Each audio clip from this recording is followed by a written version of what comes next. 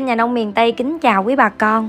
Thưa quý bà con, hôm nay ngày 8 tháng 6 năm 2022, kênh Nhà nông miền Tây cập nhật tình hình giá thanh long tại các tỉnh miền Tây và Bình Thuận để cho bà con tham khảo. Thì à, thưa bà con, hiện tại à, theo đánh giá tình hình chung thì là thanh long bị hút hàng ha bà con ha. Sản lượng hiện nay không còn à, đủ để cung cấp cho nhu cầu của thương lái của vựa à, thì nguyên nhân thì bà con mình cũng đã nắm được rồi.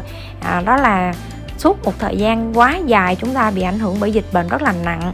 Thứ hai nữa là à, về à, giá cả phân thuốc rồi là chiên tình hình chiến sự giữa à, những cái quốc gia khác nó ảnh hưởng lên à, à, cái à, giá thành sản xuất của bà con. Thì bà con mình đã không còn đủ chi phí năng lực để mà à, tái đầu tư lại vườn thanh long của mình rồi thua lỗ rất là nhiều.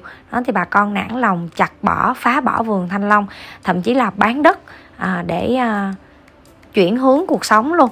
Đó thì dẫn đến tình trạng hiện nay thì là à, sản lượng thì ít thì đối với những bà con nào đang còn thanh long để bán thì lại là tín hiệu đáng mừng ha bà con? Nhưng mà ngược lại với những cái vườn thanh long đang còn đấy thì cũng là cũng không có đạt được kỳ vọng nữa.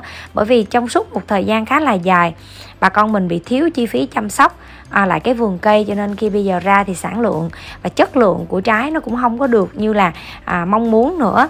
Tuy nhiên thì với cái mức giá này thì hiện cũng đang rất là tốt à, để à, để cho bà con mình mình à, mua bán trong thời điểm này ha. Thì quay trở lại tình hình giá ngày hôm nay thì giá ổn định so với hôm qua nha bà con.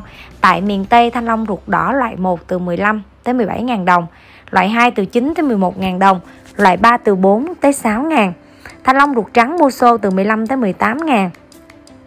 Thanh long ruột trắng ở Bình Thuận bò đẹp là 24 ngàn, 23 ngàn và 22 ngàn. Bò sàn là 22 ngàn, 21 ngàn và 20 ngàn. Hàng giả có giá từ 8 tới 10 ngàn đồng. Tiếp theo là thanh long ruột đỏ ở Bình Thuận, loại 1 từ 14 tới 16 ngàn, loại 2 từ 9 tới 11 ngàn, loại 3 từ 5 tới 6 ngàn, hàng giặt là từ 2 đến 3 ngàn đồng nha bà con. Cảm ơn bà con đã theo dõi kênh Nhà Nông Miền Tây. Hãy nhớ nhấn nút đăng ký kênh. Và nếu hôm nay bà con bán rồi có giá thì cho kênh Nhà Nông Miền Tây xin một cái bình luận ở bên dưới nha. Cảm ơn và kính chào.